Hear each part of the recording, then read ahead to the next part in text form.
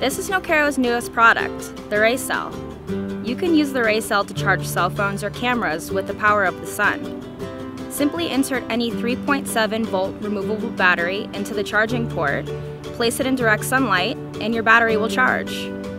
The red light means that the battery is charging. As soon as the light turns blue, it means that your battery is fully charged. The RayCel is the number one choice for people who live or play in areas without reliable electricity. To learn more about Nokero and our products, please visit www.nokero.com.